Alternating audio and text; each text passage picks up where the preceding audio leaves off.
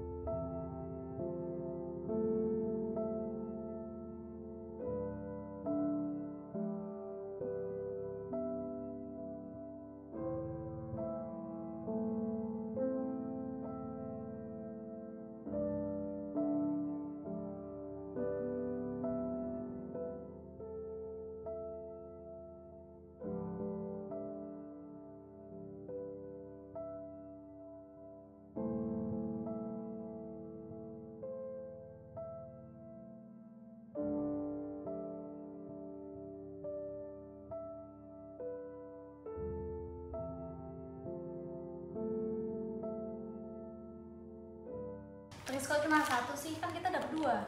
Nggak apa-apa, jatah dia cuma segitu. Yang ini buat disimpan nanti.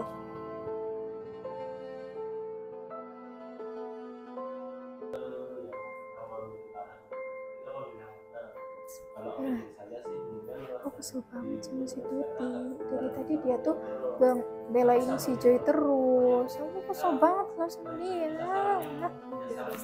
Tris, diem dong. Kan lagi rapat. Kamu apaan sih kok dorong-dorong aku kayak gitu? Gak tahu ah males aku. Keluar, mau ikut rapat. Kak, bentar ya, aku izin keluar nyusul Trisa.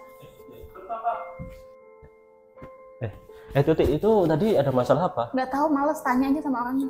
Joy tadi ada masalah apa Joy? saya juga tidak tahu tiba-tiba dia keluar dari Tris, kamu kenapa? Masuk dulu yuk, masih rapat loh. Enggak, nggak mau. Aku mau di Ayo masuk, masuk mau. dulu. Nggak mau, kamu masuk aja sendiri. Masuk dulu, ayo. Masuk Iya, aja.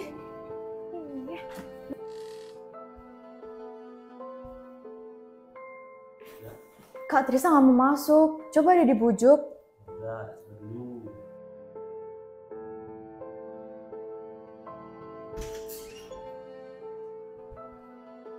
Eh, bisa. Kenapa? Ayo kita masuk dulu. Kita selesai di dalam. Nggak mau, aku males di sini aja. Ayo masuk dulu.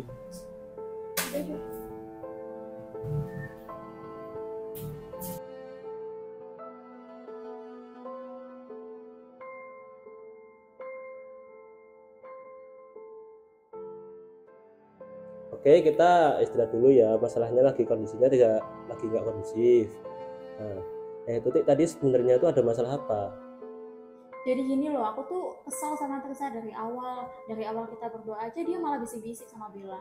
Terus eh, waktu dia bagiin makanan, kenapa dia cuma dapat satu? Kita kan dapat dua.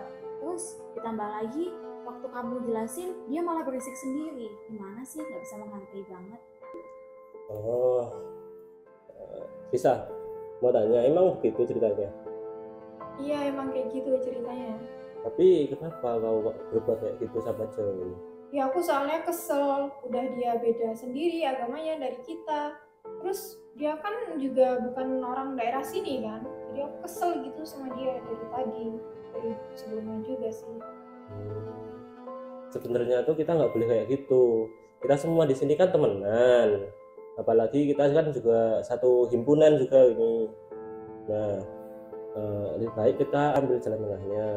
Ya udah saling maaf maafan aja daripada ya masalah ini panjang. Terus jangan diulangi lagi. Apalagi pas rapat malah pada rame kan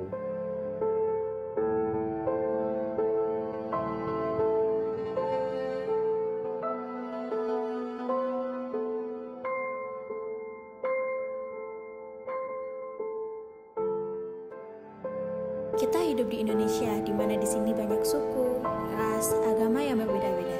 Jadi, kita harus saling menghargai dan menghormati setiap perbedaan tersebut. Jangan karena perbedaan tersebut justru malah memecah belah kita. Perbedaan itu indah kan jika kita saling menghargai?